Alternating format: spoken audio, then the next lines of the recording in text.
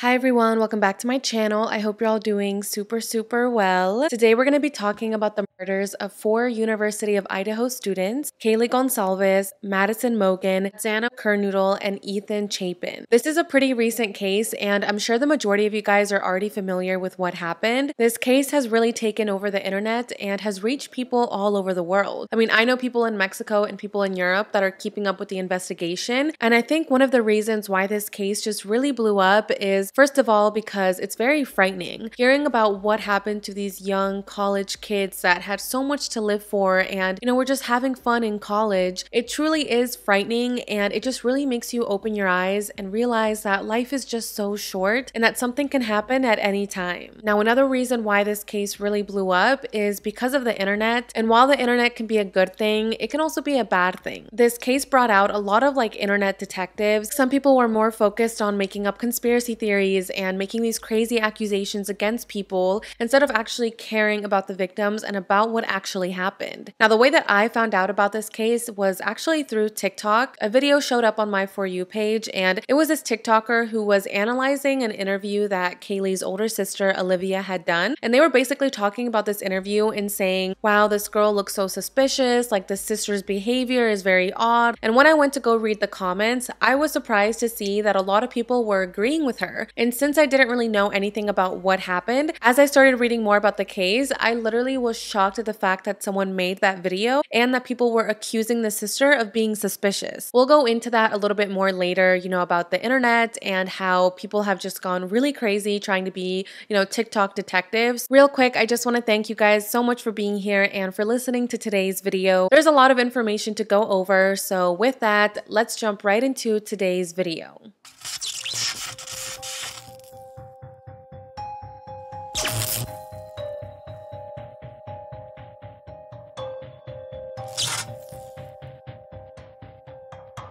you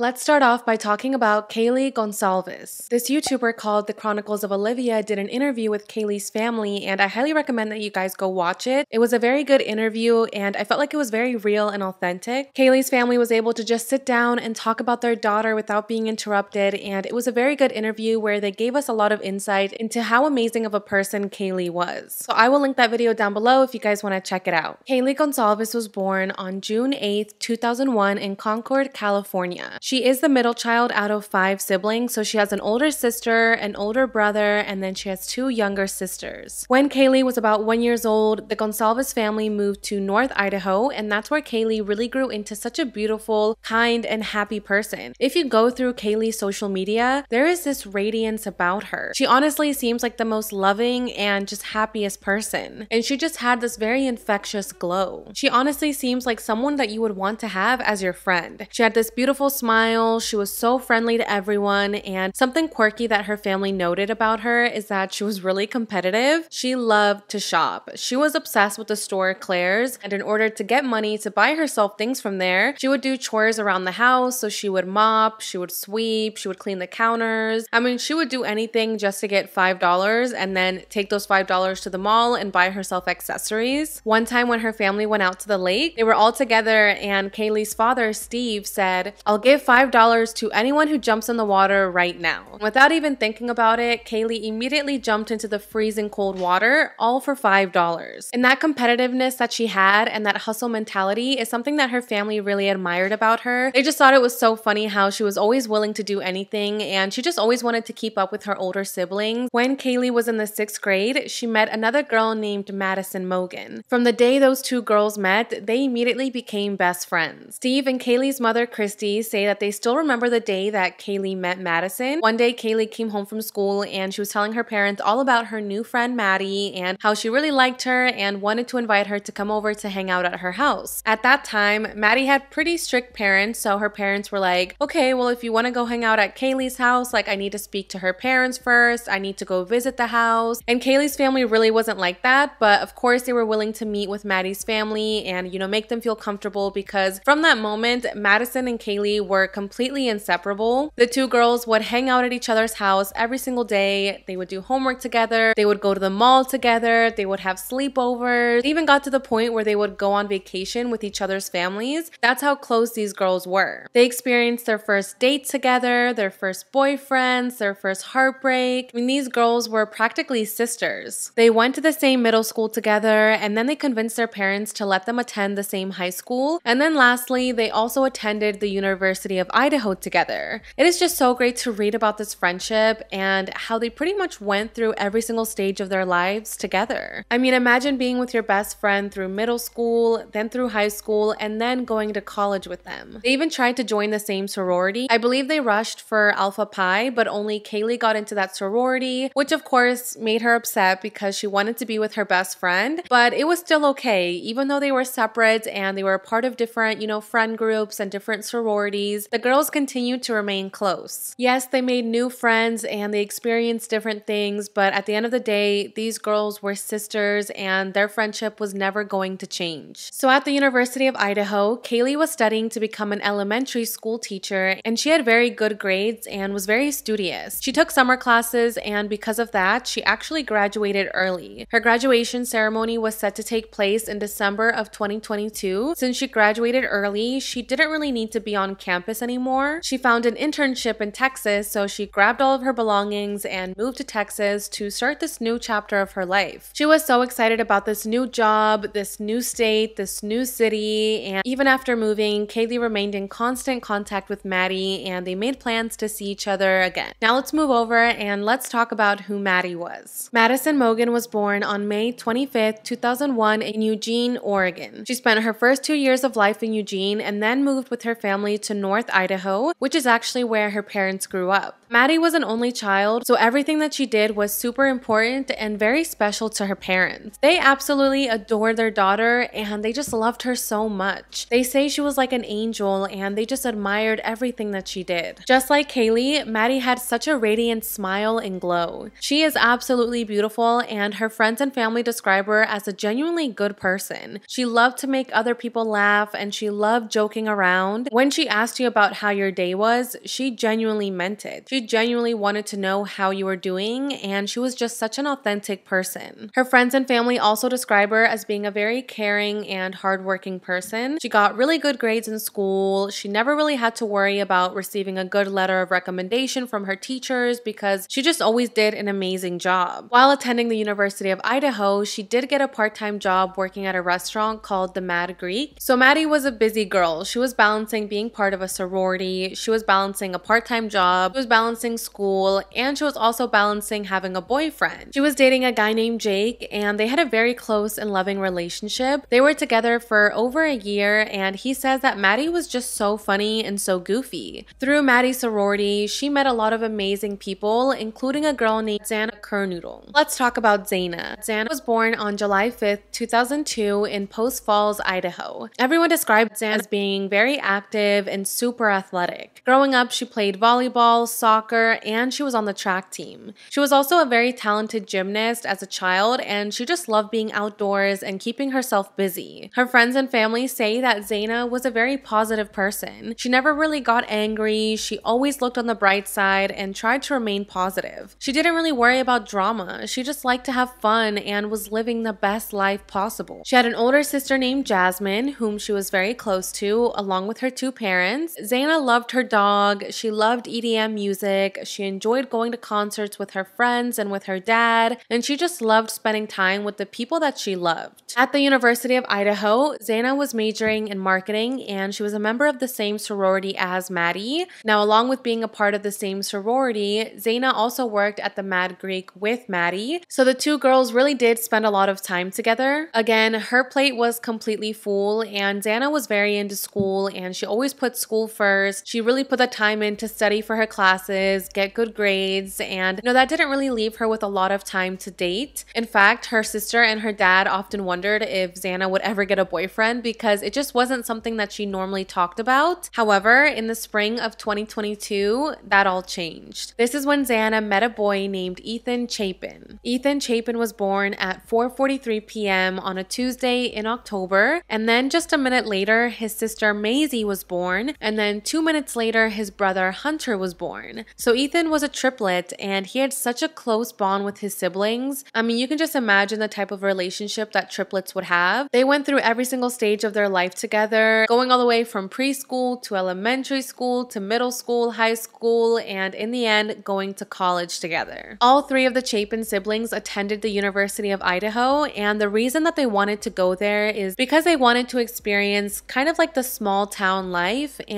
they also wanted to go to a university that had a very active Greek life. Ethan and Hunter joined the fraternity of Sigma Chi, and then their sister Maisie joined Kappa Alpha Theta. So all three of them were very active in the Greek life, and you know, just thinking about all of them being together and experiencing college together, it's just so beautiful and it really just warms my heart. Ethan was also very athletic and very active. So growing up, he played soccer, he played basketball, he did baseball, specifically enjoyed playing volleyball, going surfing, or playing pickleball. So maybe that's something him and Xana bonded over because they both enjoyed playing sports and were very athletic. Everyone describes Ethan as a very sweet and loving person. He seemed like this tall, tough guy, but everyone says that once you got to know him, he was actually this big, soft teddy bear. You would never see him angry, and he just loved hanging out with his friends, with his girlfriend, listening to country music, and just being happy. He had a very big social life, but he also remained very focused on his studies. I believe he was studying sports management, and his parents were hoping that he would become a coach or, you know, maybe a gym teacher because he was very good with kids,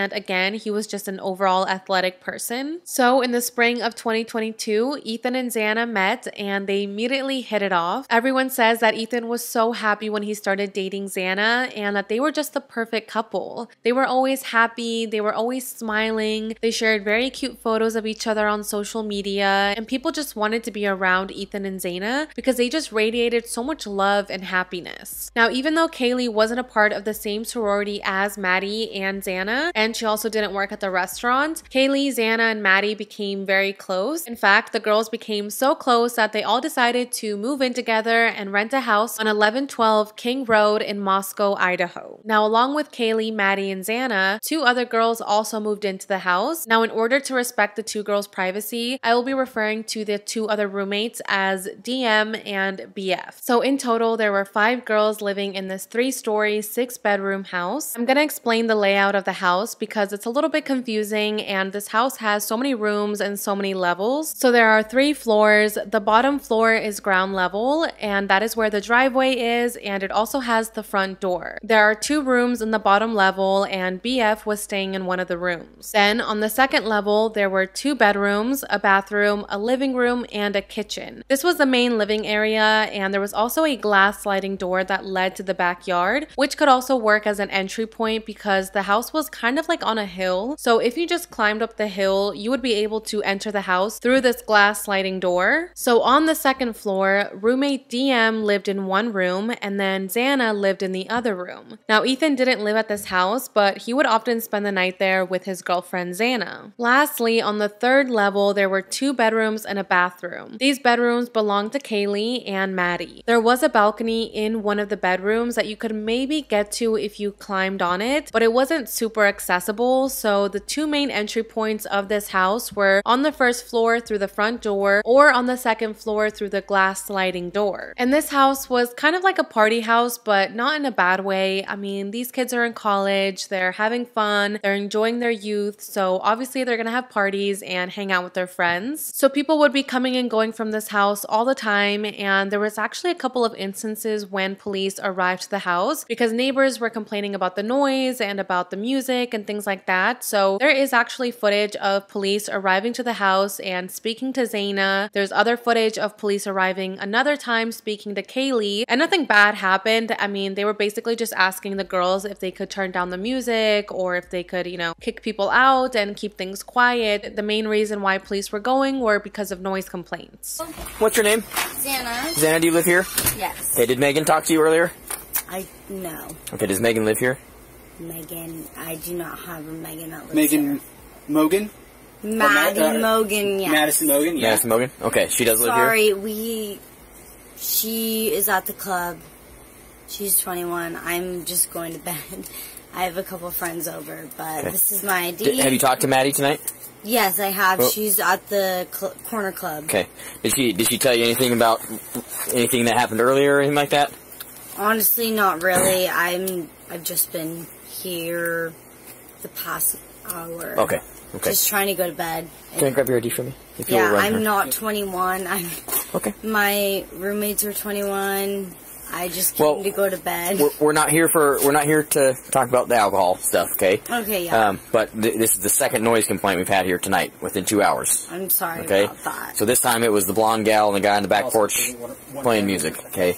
So I sincerely apologize about Okay. that. I, I'm just going to bed. Okay. And when you watch the footage of the cops arriving to the house, you can honestly see how isolated and how dark this house was. I mean, there are basically no outdoor lights. So if you're kind of going up the hill, going to where the glass sliding door is, it is literally super dark there. And the road where this house was was kind of like a dead end. It was kind of like a cul-de-sac. So if you were going on that street, it's because you were going to visit one of these houses or maybe you got lost and we're going to do a U-turn. So there really isn't a lot of heavy traffic on that street. I'm not sure about all the roommates, but I did see an interview where Kaylee's family says that Kaylee always locked the door. Even when she would go back home to visit her parents at their house, she always made sure to have the door locked. So that was super important to her. And again, I'm not sure about the other roommates if they locked the door or if they didn't really worry about it. Okay, so now that we know the layout of the house, let's talk about what actually happened on the night of November 12th. So at this point, Kaylee was already living in Texas because she had secured a new job. So she wasn't living at the house in the moment, but she decided to go visit her best friends that weekend because, you know, she wanted to catch up with Maddie and all of her other friends. Plus, she had just bought herself a new Range Rover, so she wanted to show her friends her new cars. So she decided to go down to Idaho that weekend to visit her friends and stay inside that house. Now, she had a dog named Murphy that she shared with her ex boyfriend Jack. So when she came to Idaho to visit her friends, she brought Murphy along with her. So on Saturday night, November 12th, Kaylee posted this photo on her Instagram, which shows all of the roommates together, including Ethan, and she put the caption, One lucky girl to be surrounded by these people every day. Maddie is sitting on Kaylee's shoulders, Ethan and Xana are standing next to each other, smiling, and it's just such a beautiful photo. And it's just so hard to see that photo of them smiling and looking all happy, and they had no idea about what was going to happen later that night.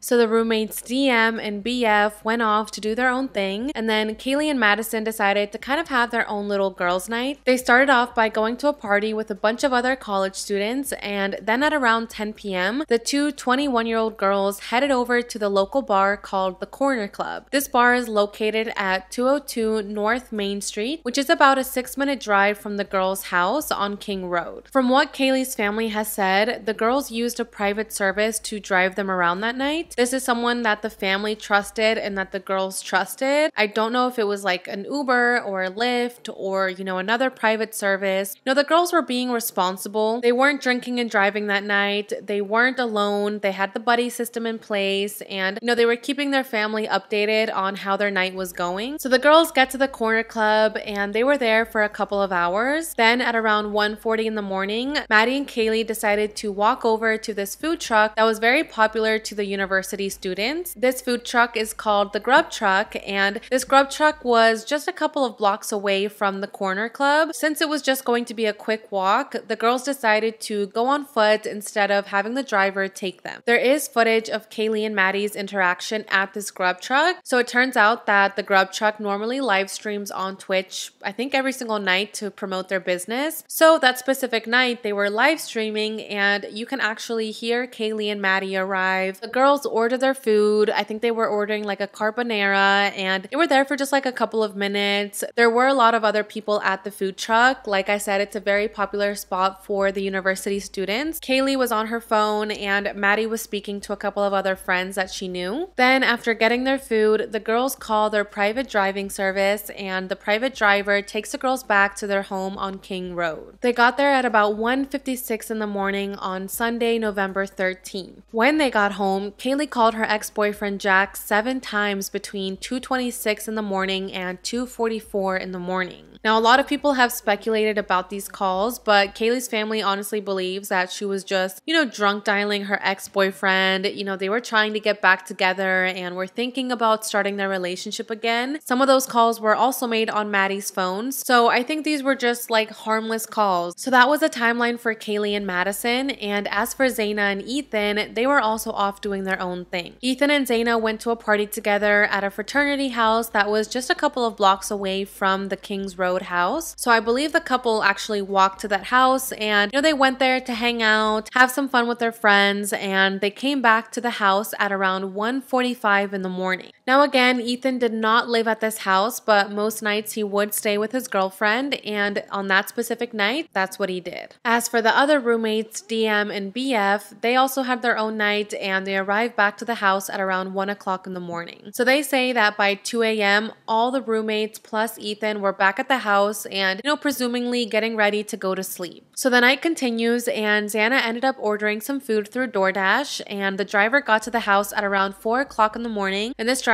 says that he physically handed the bag to Xana. Xana grabbed her food and then went back upstairs to her bedroom which was again located on the second floor. So Kaylee and Maddie are sleeping in the upstairs bedroom, DM is sleeping on her bedroom on the second floor, Xana and Ethan are sleeping in their bedroom on the second floor and then the final roommate was sleeping on the third floor in their own bedroom. DM says that she woke up at around 4 o'clock in the morning because she heard what she thought was Kaylee playing with her dog Murphy. Now, along with hearing what she thought was Kaylee playing with her dog Murphy, she also heard who she thought was Kaylee saying something to the effect of, There's someone here. As soon as she heard that, she opened her bedroom door, she looked around, but she didn't see anything. So she closed her door and tried to go back to sleep. Now, even though she believes that Kaylee was the one that said, There's someone here, police also believe that it might have been Xana because she was still awake at this point. Her phone records show that around 4:12 in the morning, her TikTok was active, so she could have been scrolling on TikTok or she could have fallen asleep and the TikTok app could have kept going while she was sleeping. Either way, roommate DM went back to sleep. However, she was woken up a second time when she thought she heard crying coming from Xana's bedroom. So she got up and she heard a male voice say, It's okay, I'm going to help you.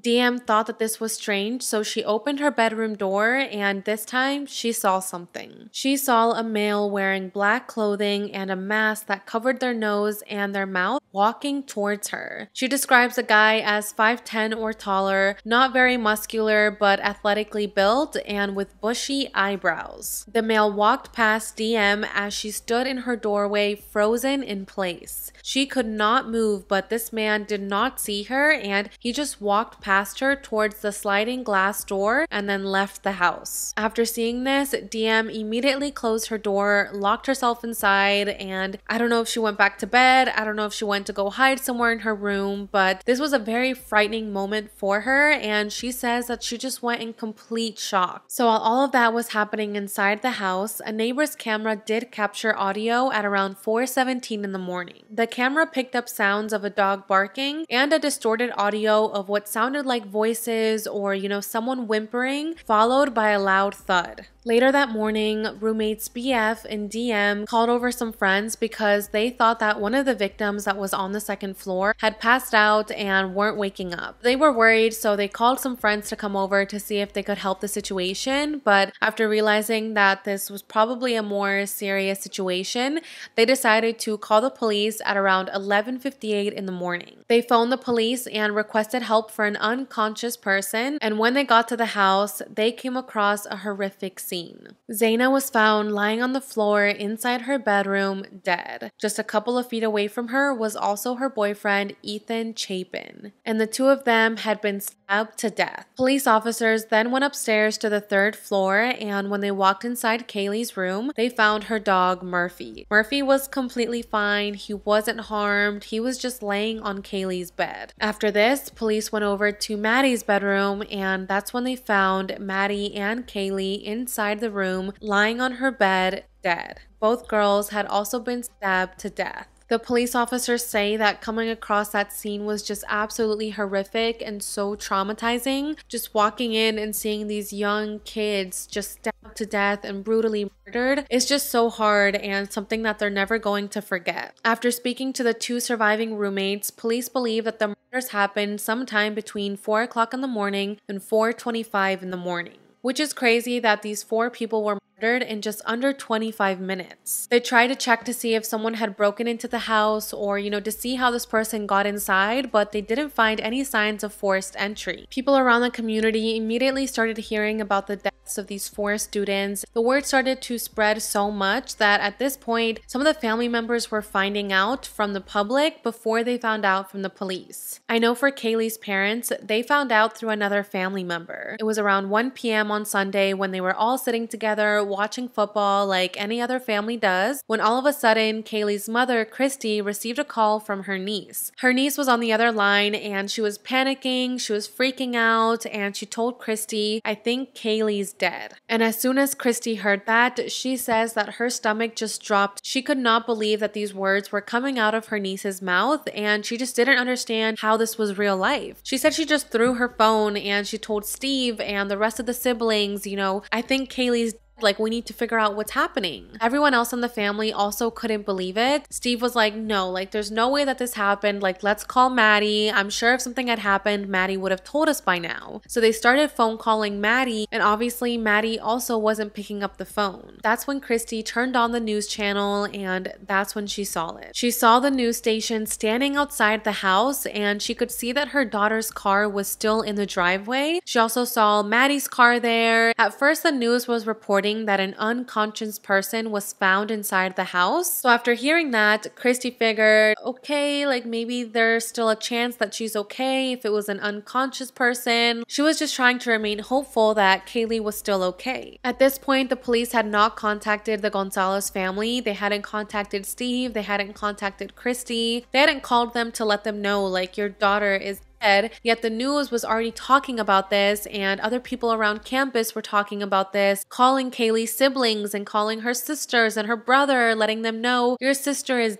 dead. So at this point, Steve was feeling frustrated and he was feeling confused because he just didn't know what the truth was. So he called the Moscow Police Department and said, My daughter is Kaylee. People are telling me that my daughter is dead. like, is this true? The Moscow Police Department told him, We can't give you any more information, but we'll call you back. Can you imagine getting calls from friends and family members telling you that your daughter is dead and you're seeing it on the news as well? Yet when you call the police from that area, they tell you that they can't give you any more information about it and that they'll call you back. I understand that there's protocols in place and I understand that police have a way of doing things, but at the same time, I feel like we have to understand how the families felt in that moment and how families in the future will feel if they're put in that same position. Imagine not being able to confirm if your child is actually dead or not. Steve was just so angry and he just says that these protocols need to change. There has to be a better way to notify loved ones about their loss. Since they weren't able to get in contact with Maddie, with Kaylee, with Xana, with anyone, they decided to call Maddie's mom, Karen, and see if she knew anything. And Karen picked up the phone and told the Goncalves family that yes, the police had contacted her and told her to come down to Idaho to the house because there was an accident. So after hearing that, Kaylee's family assumed that maybe Maddie was the unconscious person and maybe she was the one that was in an accident, not Kaylee. Kaylee's older sister, Olivia, was doing her best to be there for her parents. At this point, she was living in Los Angeles and her parents were still living in Idaho, so she wasn't physically there to help calm them down and, you know, help in the situation. But she was telling her parents over the phone, listen, if Kaylee did die last night, you guys would have been notified way sooner. Maybe it was just an accident. Maybe Maddie is unconscious and the reason Kaylee isn't answering her phone is because they're interrogating her or, you know, things like that. She was just trying to come up with any reason as to why Kaylee wouldn't be picking up the phone. Every single hour, Olivia was just refreshing the internet to see if there was more updates on this. I just think it's so sad how she had to depend on the internet to find out news about her sister and wasn't able to get this information directly from the police. Hours went by before police finally arrived to their door and told them face to face that their daughter was dead.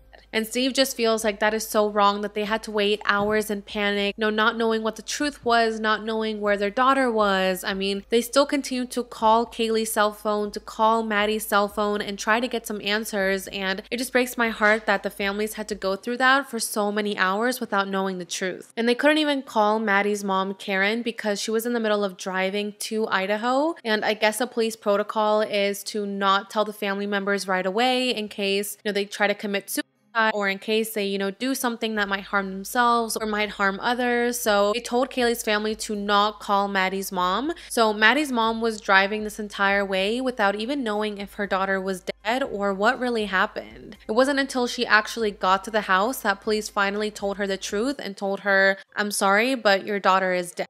Now, as for Xana's dad, he says that the moment that he found out his daughter was dead, everything around him just stopped. He had spoken to his daughter at around midnight the night before, so to think that he spoke to his daughter just like a couple of hours before she was brutally murdered. It's just so hard for him to process that and understand how that actually happened. Jeffrey says that Xana was in constant communication with her family, so again, they were texting the night before she was murdered and nothing seemed unusual. I mean, he says that Xana would always lock the door as well. There was a number code for the door, which was always on. So he just doesn't understand how someone came inside this house and did this to these girls and to Ethan, especially because police didn't find any signs of forced entry and he just doesn't understand why. Like, why Xana? And I'm sure when Ethan's parents found out, they were just as heartbroken and just as confused. It just breaks my heart to think about these families and how they probably found out through the news before they found out through the police. Everyone was just struggling to understand how this happened. They were also concerned because the killer hadn't been caught yet. Police said that there were no signs of forced entry, they had no suspects. The families were concerned that police weren't going to find the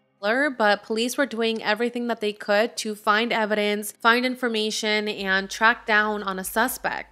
After the bodies were discovered, police started reviewing surveillance footage around the area to see if maybe they could capture someone on camera that, you know, pulled up to the house or was watching the house or something like that, or, you know, just to see if they could notice anything suspicious. And as they started looking at surveillance footage from around the area, they did find something odd. They saw that a white Hyundai Elantra passed by the house three times before entering the area for a fourth time at 4.04 in the morning. Then at about 4.20 in the morning, this white Hyundai Elantra could, could be seen on video footage speeding away from the neighborhood. And again, this house is kind of like on a dead-end street, so a lot of cars don't normally pass by that street, and if you are on that street, it's because you're looking for a house or because you're lost. However, this car literally passed by three times until finally passing by a fourth time. So with that information, police thought that this car might know something. Maybe they were the suspect or maybe they were just a witness to what happened that night. After reviewing the footage on December 7th, police announced to the public that they were looking to speak with the driver of a white 2011 to 2013 Hyundai Elantra that was seen in the immediate area of the victim's house early on November 13th. They asked that anyone with information on the car to contact the tip line. Now, along with finding that surveillance footage of the white Hyundai Elantra, police also recovered a tan leather knife sheath that was found near Madison and Kaylee's body. According to the affidavit, this knife sheath was lying on the bed next to Maddie and Kaylee. So detectives grabbed the item, they sent it over to a forensic lab, and they were able to find DNA on this knife sheath. However, at the time, they did not reveal this to the public. They were super hush hush about things that they were finding in the moment because, of course, they needed to protect the integrity of the investigation. If they just go out there and they start revealing to the public everything that they know, it could tip off the killer or the killers and potentially harm the investigation. So at this point, the public did not know that there was DNA found on this knife sheath. Along with the knife sheath, police also found a footprint outside of DM's bedroom, which they believe belongs to the intruder. Now, as for the autopsies, they were conducted on November 17th, and they determined that all four victims were stabbed multiple times. Ethan, Xana, Kaylee, and Maddie were probably asleep when they were attacked. Now, even though police did not recover a murder weapon weapon at the crime scene, they did recover the knife sheath. So, with that information and with what the autopsies concluded, police suspect that a Ka-Bar style knife may have been used to kill the four victims. Jeffrey, Xana's dad, said that his daughter had apparently tried to fight her attacker, and this was actually backed up by the coroner, Cathy, who conducted the autopsies. At first, she came out and said that one of the victims did have defensive wounds, but then Jeffrey came out and said that that victim was his daughter. He says that there's one thing that the autopsy shows for certain, and that is that Xana is a strong willed woman who fought her killer to the very end. And just thinking about how Xana fought back and what she had to go through is just so haunting. I know there's a lot of rumors out there and speculation of what actually happened and, you know, if Xana was still awake, if she was actually on TikTok, if, you know, who got killed first and things like that. And I just think that some details don't need to like be made public. Like, we're allowed to let things just remain private to the family. And I saw that there was a new article that came out, I believe today or yesterday, that was talking about how Xana was the last person to die and that she saw Ethan die before her. Just all this crazy stuff that I don't want to repeat. And I just want to say that if you are reading, you know, articles out there and things like that, just be careful with what you're consuming because a lot of these just say, you know, this comes from a trusted source. And I feel like, mm, I don't know if you can really trust that if police haven't come out and stated that information or the family hasn't come out and stated that information, I would be careful with what you take in. On Wednesday, November 30th, friends and families of the victims gathered together to you know, talk about who Kaylee was as a person, who Xana was, who Ethan was, who Maddie was, and you know just bring up memories of them that they enjoy and just talk about how amazing these four kids truly were. Ethan's mother, Stacy, spoke at this vigil and she told everyone, "We are eternally grateful that we have spent so much time with Ethan. That's the most important message that we have for you and for your family. To make sure that you spend as much time as possible with those people because time is precious and it's something that you can't get back. She also said that her kids are so thankful that they had the time to spend with Ethan before his death. He was literally the life of the party. He made everybody laugh and he was just such a kind person. Stacy said she appreciated all the love and support that she was receiving from the community and you know from people all over the world because again, this case really hit the news and people all across the country were finding out about what happened to these victims, and everyone was sending all of their condolences and all of their prayers and thoughts to the families. So, you know, Stacy and the rest of the families really did appreciate that love and that support. When it was time for Kaylee's family to speak, Steve said something that really just tugged at my heart, and it makes it so hard to not cry when saying it because it is just so emotional and it just breaks your heart. He started talking about the friendship that Kaylee and Maddie had together, and he said they've been best friends since sixth grade. They went to high high school together and then they went to college together and then they moved into the same apartment together. And in the end, they die together in the same room, in the same bed. And it's such a shame and it hurts, but the beauty of the two always being together is something that will comfort us and let us know that they were with their best friend in the whole world. Again, just reading that makes you so emotional because that friendship is just so beautiful and what he's saying is so true. You know, they were best friends since they were in sixth grade. They did everything together and in the end they were together in their death and I'm happy that does bring the family some type of comfort to know that they weren't alone and that at least they had each other. I don't believe Xana's family was at the visual, but Maddie's family was and her father was up there speaking and again every single family just really tugs at your heart and especially because Maddie was an only child. Maddie's parents literally lost their only child and he was up there talking about how proud he was of his daughter and how the two of them loved attending concerts together and how everything that Maddie did was so perfect and he just admired her so much.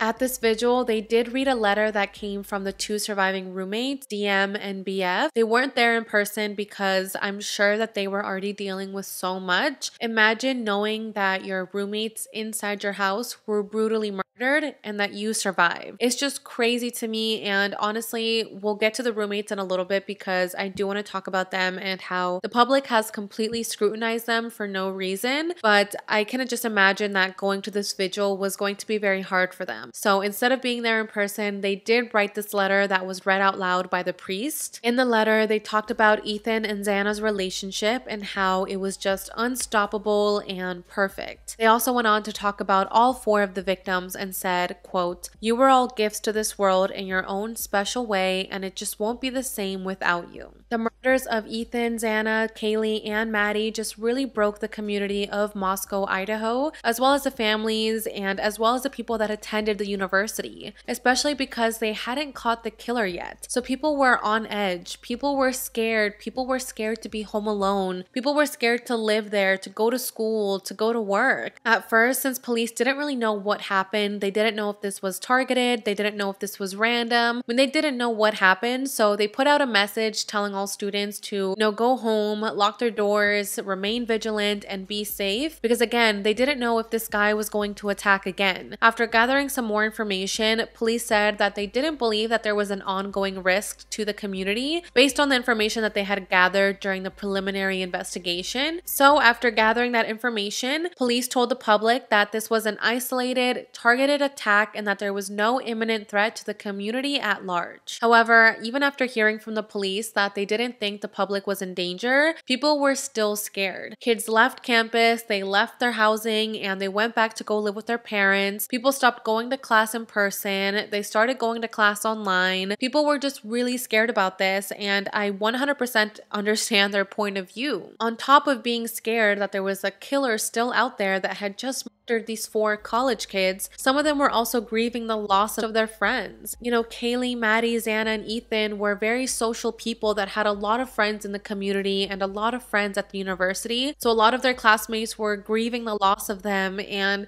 it was just such a difficult time for everyone in the community.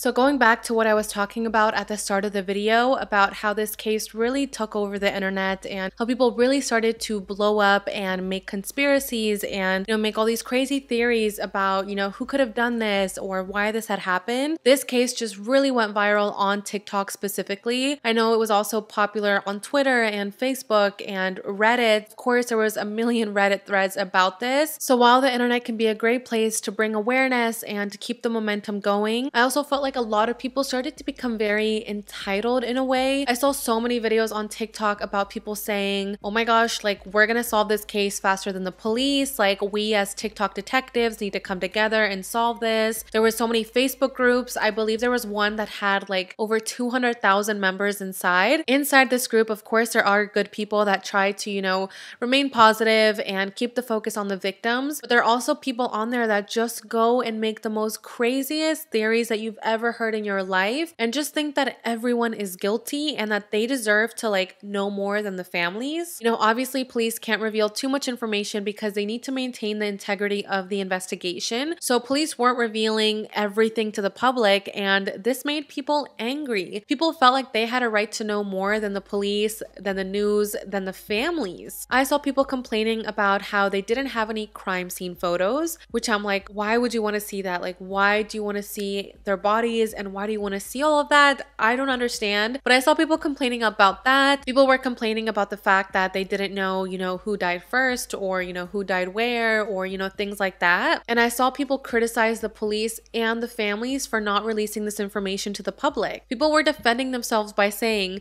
we have a right to know as well. I know I'm getting like all worked up about it, but it just makes me so angry. It just breaks my heart because if you go to that YouTube channel I was telling you guys about, The Chronicles of Olivia, and you listen to Kaylee's family's interview, you can hear how much they, I don't want to say fear, but how, you know, kind of like resentment towards the public because anything that they did, they were immediately judged on. For example, people were making videos about Kaylee's older sister, Olivia, and claiming that she was suspicious, that she was guilty, that she was involved, that she was weird. People were focusing on her at first. And then I saw videos of people literally saying that Kaylee's father, Steve, was the killer. And these people were serious because other people would comment agreeing with the TikToker. I feel like if you're gonna be sharing things online and if you're gonna be talking about things, it's because you wanna raise awareness and because you actually want justice and wanna help, not because you just wanna make all these crazy rumors up about who may be guilty. So, in that interview that Kaylee's family did on the Chronicles of Olivia, they were literally talking about how the public would criticize them for how they were breathing, for how their eyes moved, for their body language. And you could tell that Kaylee's father, Steve, was so annoyed about this this. He literally said, like, listen, if you're a family that ever has to deal with this, and unfortunately your loved one becomes a victim of homicide and you try to be public about it, just know that people are going to scrutinize you, people are going to judge you, people are going to insult you, people are going to tear you apart, and you have to be ready for that. And just hearing Steve say that broke my heart because he should be receiving all the love and support in the world right now from the public. And while there is so much love and there is so much kindness, there also are those people that just ruin it and so hard to focus on the positive people when there's these negative people just judging you for everything that you do. People were literally judging Kaylee's father and Kaylee's sister Olivia for being so public and for doing, you know, interviews and, you know, doing segments on TV. People thought it was weird that they were being so vocal and there are consequences for acting this way. There's actually this TikToker named Ashley who is getting sued by an assistant professor at the university who chairs the school's history department. I believe the teacher's name is Rebecca and she filed a defamation lawsuit against the TikToker Ashley because this TikToker, who I believe is a tarot card reader or she like reads cards and she somehow believed that this professor Rebecca was the one that made this whole plan up. Like she thinks that she hired, I believe it's Kaylee's ex-boyfriend Jack to kill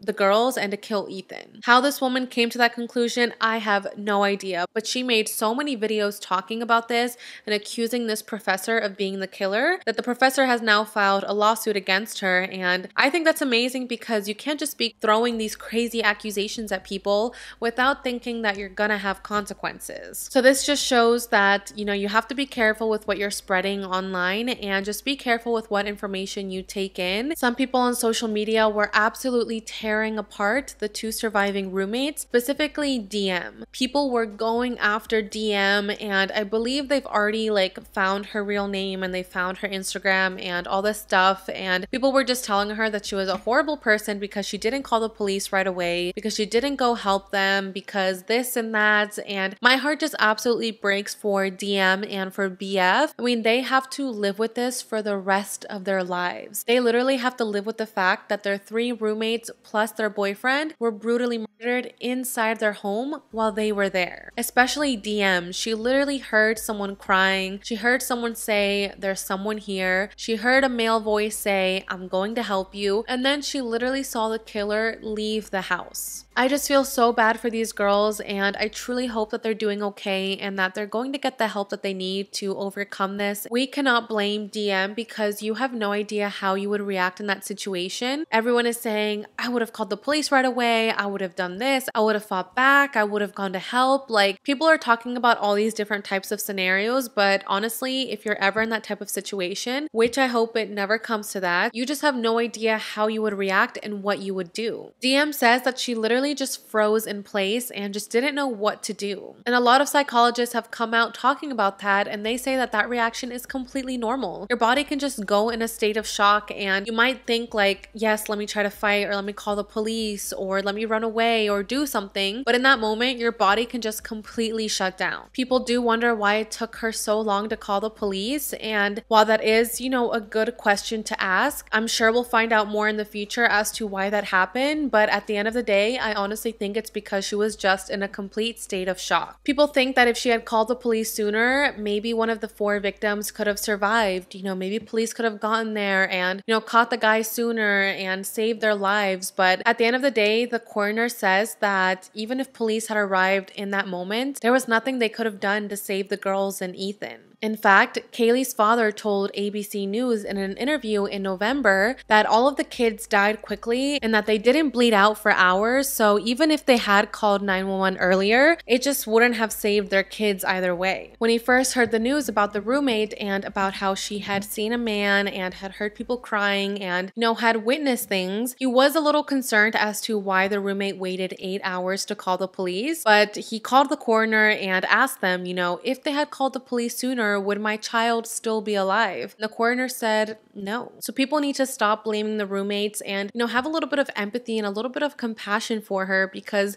she's probably going through so much and is going to be, you know, traumatized by this for, you know, maybe the rest of her life. Another victim to public scrutiny was this guy that was seen on camera standing behind the girls at the food truck. So if we look back at the footage, we can see that Kaylee and Madison were ordering food from the grub truck and standing behind them was this man that was wearing a hoodie and he was kind of just standing behind the girls. He wasn't, you know, talking to them. He wasn't, you know, standing near them as if they had come together. He was just kind of sitting back and a lot of people thought that his behavior was very suspicious and very odd. When the girls get their food and start walking away, this guy kind of gestures at them as if he's, you know, wondering where they're going or as if he's upset that they're leaving. And a lot of people took that and they ran with it and they thought that this guy was a killer and had most likely followed them home and, you know, done this to them. And I understand why people did think that because at first there really wasn't any information about the investigation or about any type of suspect. And police were asking for the public to help them identify who this man was. So I understand that his behavior did seem suspicious at first. However, police did eventually find this guy, they interviewed him, and they completely cleared him from having anything to do with the crime. Moscow police literally made a statement saying that this guy was 100% innocent, that he had an alibi, that he wasn't involved in the investigation, yet people didn't listen and they felt like they thought the police were wrong and that they knew more than the police. They literally tore this guy's life apart because they honestly believed that he was guilty and that police had gotten it wrong. Now, while a lot of people did believe that the guy from the food truck was suspicious, other people believed that maybe Kaylee's stalker had done this a lot of news articles started coming out talking about how Kaylee had a stalker and, you know, how she was really worried about this and had told her parents and her friends about this stalker. And that's when people started to, you know, theorize, you know, maybe the stalker did this. And Kaylee's family did come out and also talk about this stalker. So police started looking into this incident and this is what happened. In mid October, Kaylee had gone to a local business around the area and at the local business, two males were seen inside the store. They had parted parted ways at one point, and one of the males appeared to follow Kaylee inside the store and as she exited back to her car. This male turned over to Kaylee, but it didn't appear as if he made any contact with her or spoke to her. He just kind of looked at her, and you know, maybe Kaylee felt off about the situation. Maybe she felt like the guy was following her, and that's why she told her parents about this. So, police tracked down those two guys and they did speak to them and cleared them of any involvement in the investigation. As for the stalker, police weren't really able to find any evidence to prove that Kaylee did have a stalker. Last but not least, people started to theorize that maybe Kaylee's ex boyfriend Jack was a killer. The reason they thought this is because the night of the murders, Kaylee had called her ex boyfriend over seven times, a handful of times from her own cell phone and a couple of times from Maddie's cell phone. At first, people believed that maybe Kaylee had called her ex boyfriend for help. You know, maybe she saw that she was getting attacked, or maybe she saw Maddie getting attacked, so she picked up the phone, called her ex boyfriend for help. On the other hand, some people thought that maybe she had called the ex boyfriend, invited him over to the house, and something bad happened between them, and he ended up murdering Kaylee, Maddie, Xana, and Ethan. People were really going in on this ex boyfriend. However, police did come out and they said that they have spoken to Jack.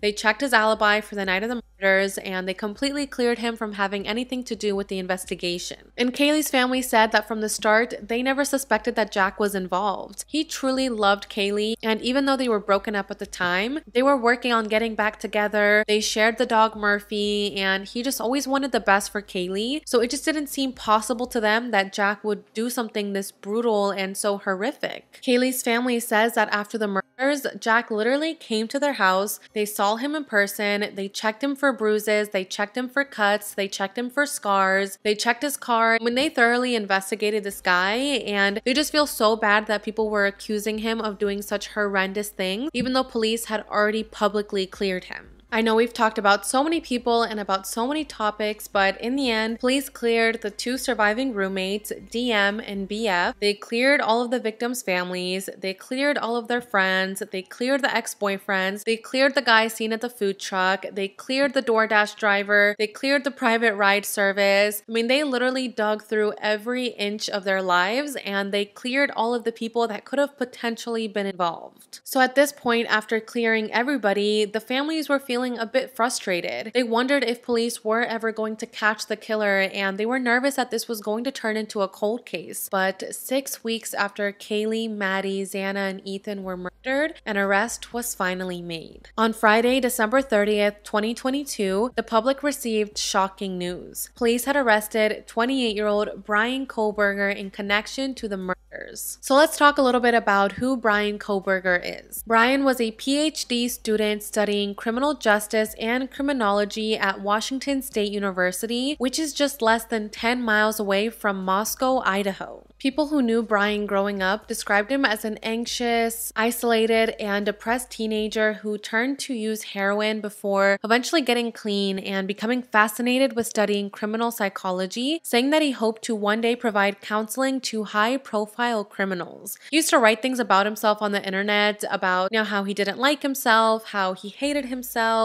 He would say things such as, I feel like an organic sack of meat with no self worth. As I hug my family, I look into their faces and I see nothing. It's like I am looking at a video game, but less. He was a bit heavier when he was growing up, so people say that he used to get bullied because of his weight and because of his appearance, and this just made him be a very depressed teenager. However, as Bryan started to get older, he eventually lost the weight, and people said that instead of that making him, you know, happy and making him more friendly and things like that, he actually became a bully. So instead of getting bullied himself, now he was doing the bullying and he was just very condescending to people, especially when he was speaking to females. He would speak to them in a tone where where he was kind of like mansplaining things and would act like you were stupid. He also still had a problem with doing heroin and it just seemed like his life wasn't going well. Bryan was born to his two parents and he also has two sisters. He received his bachelor's degree from DeSales University in Pennsylvania in 2020 and then he completed his graduate studies there in June of 2022. After that, he moved over to Washington State University where he began getting his PhD in criminology and while Bryan was studying for his PhD at Washington State University. He was also an assistant teacher there and lived in an area called Pullman, Washington. And in Pullman, Washington, Bryan had actually applied for an internship with the Pullman Police Department. In an essay that he wrote to the Pullman Police Department, he said that he wanted to help rule law enforcement agencies with how to better collect and analyze technological data in public safety operations. He was interviewed for the job, but we're not really sure if he ended up getting the job job or if he just never got a call back. So last year in 2022, there was this post made on Reddit from someone who identified himself as Bryan Kohberger. In this Reddit thread, which I believe has now been deleted, he put out a survey that was targeted for people that had spent time in prison. In the survey, he asked the respondents to describe their thoughts, their emotions, and their actions from the beginning to the end of a crime. So in the survey, he was asking these, you know, criminals how they found their victims, how they decided to target them, how they, you know, got inside their house, you know, how they got rid of evidence, things like that. And obviously, as a criminology student or as a criminal justice student, sometimes you do need to, you know, ask these questions and read about these things. So I guess it's not that strange that he did make the survey, but now reflecting back on it and, you know, thinking about how he has been accused of committing these murders, it just seems very weird that he was putting out this survey. And it makes a lot of people wonder, you know, if he put this survey out there as a way for him to collect information and data about about how other killers were thinking in the moment. Besides just trying to get into the mind of a killer, a lot of people also wonder if he committed these murders because he wanted to be a part of his own investigation. You know, he wanted to be a part of his own study and, you know, maybe see if he could answer these questions for himself. Again, this is all just alleged. We don't know if Bryan is actually the killer, and these are just things that some people theorize about. So, days after Ethan, Xana, Kaylee, and Maddie were murdered, people say that Bryan was still on campus campus. He was still inside his office grading papers and, you know, just acting like nothing had happened. One of his neighbors in Pullman, Washington says that Bryan actually spoke to him about the murders. Bryan asked his neighbor if he had heard about what happened to the University of Idaho students, and the neighbor said that yes, he heard about what happened to the students, and he also mentioned how there weren't any leads or suspects yet. After saying that, Bryan told the neighbor, Yeah, seems like they have no leads. Seems like it was a crime of passion. The neighbor says that when they had this conversation, it was literally just a few days after the murder. You know, now looking back at that, the neighbor is really creeped out thinking that he had that conversation with the alleged killer. So let's talk about what evidence police found against Bryan that led to his arrest. So remember how I mentioned that police were looking for a white Hyundai Elantra that may have been involved in the investigation? So police put out that statement about how they were looking for the owner of a white Hyundai Elantra. So a police officer at Washington State University started going around the campus parking lots to see if that car would show up, and it did. He ran the license plate and it led him back to Bryan Kohberger. So after discovering this information, this Washington State police officer handed this information over to the Idaho Police Department, and as soon as they saw a photo of Bryan Kohberger, they immediately got suspicious. I mean, Bryan is a tall, skinny guy. He has, you know, an athletic build and he has bushy eyebrows, which, if you remember, that's exactly how the roommate DM described the intruder. She specifically remembered his bushy eyebrows. So when police realized that his features matched the description that DM had given, they began zoning in on Bryan. They started following him and his family closely, and a couple of weeks after the murders, Bryan was actually stopped by police officers twice. On December 15th, Bryan was inside his white Hyundai Elantra with his father, and they were making their way from Washington State University all the way back to their hometown in Pennsylvania. They were going back to celebrate Christmas and New Year's, and I believe Bryan had like a fear of flying or something like that. So his father flew to Washington State University to accompany his son across the country and, you know, go back to Pennsylvania. So this was a pre planned road trip, and they were in the white Hyundai Elantra, and that's when authorities pulled them over in connection to a traffic stop. Bryan was in the passenger seat, and the officer stopped him for speeding. There's actually body cam footage of this moment, and it's just so crazy to watch this guy literally be inside his car with his dad, going back home to celebrate Christmas with his parents and his sister. All the while, this guy could have possibly been the Police stopped him for the speeding, and then nine minutes later, he was stopped by the Indiana State Police for following another vehicle too closely. This part is a little confusing to me because some articles state that these stops were on purpose, that police wanted to stop Bryan to see if they could find any scars on him, any bruises, any cuts, you know, anything that could, you know, prove to police that he might have been the killer. So some articles state that these stops were intentional, but other articles state that these stops weren't intentional. So I'm not sure what the accurate statement is. So besides finding out that the white Hyundai Elantra belonged to Bryan Kohberger and that Bryan Kohberger fit the description of the man that DM saw the night of the murder, police also found evidence in Bryan's phone records to indicate that he was there the night of the murder. So that morning, the night of the killings, Bryan's phone had been turned off at 2:47 in the morning. It was turned off for about 2 hours and it reconnected at 4:48 in the morning. And this time it reconnected to an area near Moscow,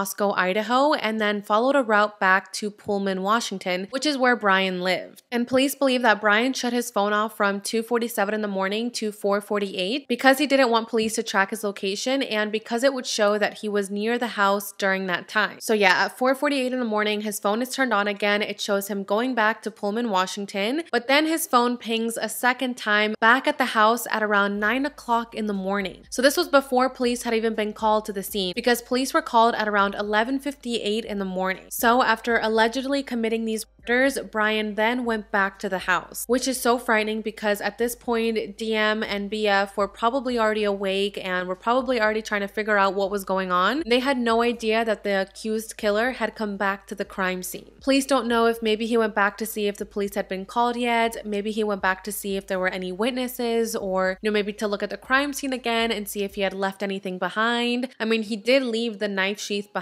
so police wonder if he went back to retrieve it. Besides finding that information, police also discovered that Bryan Kohberger had visited the house at least 12 times before the murders.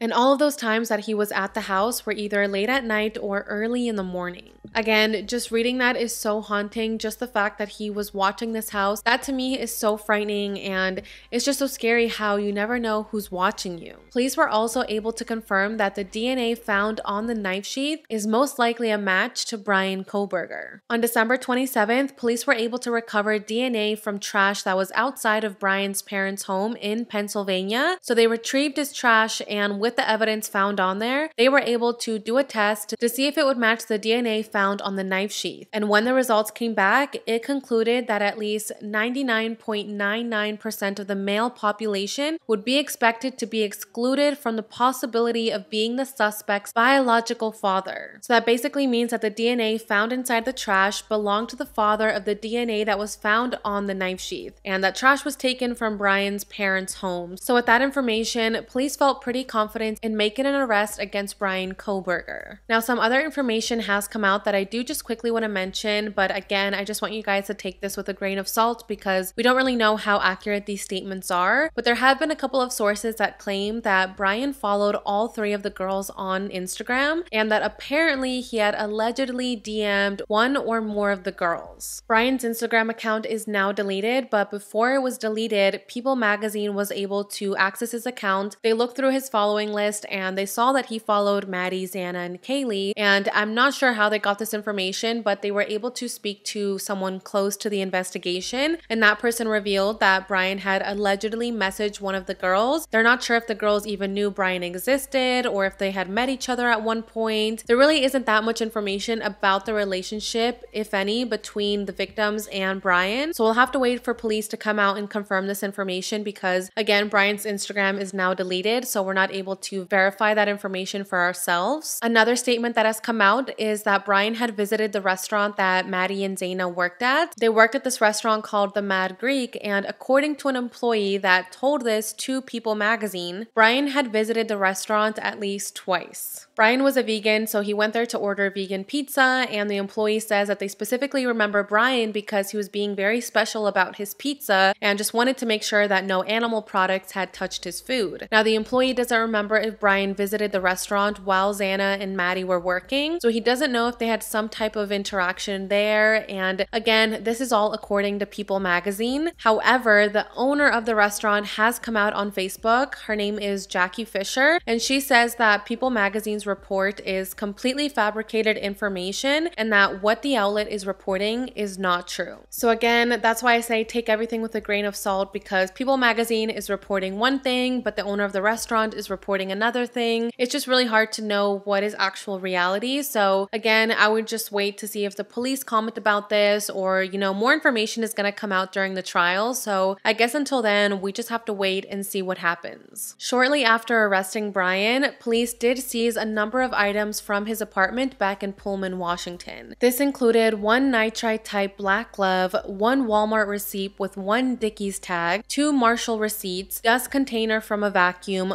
multiple possible hair strands, one possible animal hair strand, two cuttings from uncased pillow of reddish slash brown stains, two top and bottom mattress covers with multiple stains, items with dark red spots, a computer, and a Fire TV stick. So for now, Bryan faces four counts of first degree murder in the fatal stabbings of Kaylee Goncalves, Madison Mogen, Xana Kernodle, and Ethan Chapin. He is scheduled to have his preliminary court hearing in June, where a judge will determine if there is enough evidence to proceed to the trial. So far, from my knowledge, he hasn't entered a plea, but an attorney representing Bryan during his extradition from Pennsylvania to Idaho told NBC earlier this month that he believes Bryan is going to be exonerated. There also has been a gag order set in place, and this basically means that anyone that's involved in the investigation, that means detectives, police officers, judges, lawyers, parents, family members, no one is allowed to publicly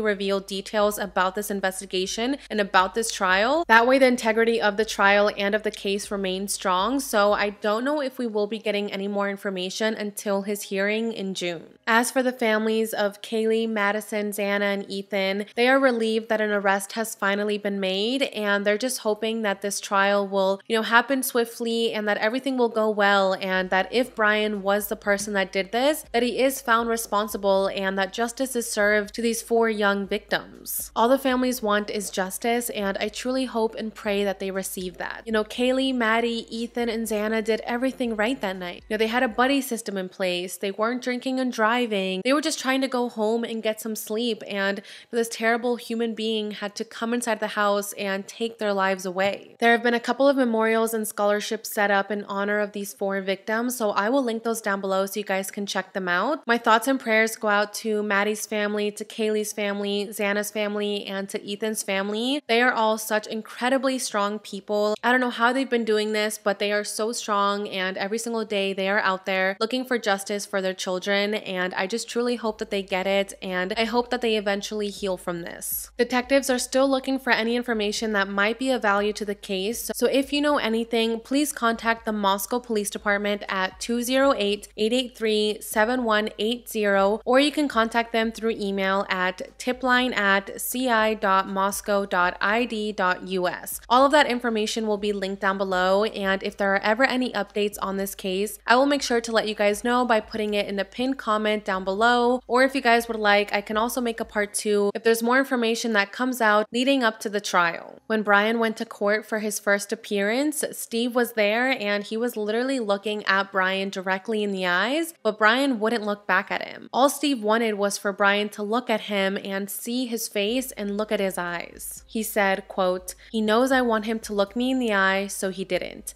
He didn't give me that opportunity. He's scared to look at me in the eyes and start to understand what's about to happen to him. You know, he picked the wrong family. We're not scared of conflict. We're not running. We're coming at him. And I feel like that's such a powerful statement that represents how all four families feel. They will not stop until they get justice. All right, you guys, that's pretty much it for today's video. I know there was so much information to go over and there is still so much information. This video could have been like 10 hours long with how much information there is for this case, but definitely let me know if you guys would like me to do a part two in the future. And like I said, my thoughts and prayers go out to all of the families involved. And again, we just need to remember that Kaylee, Maddie, Ethan, and Xana were the victims in this, and that the priority has to be them getting justice and their families getting closure. These young kids had their entire life ahead of them. They were so young, so full of life, and they were just getting their lives started. And it's just absolutely heartbreaking how someone had to take all of that away from them. I would love to know what you guys think about this case down below, and I will see you guys in the next video. Bye, guys.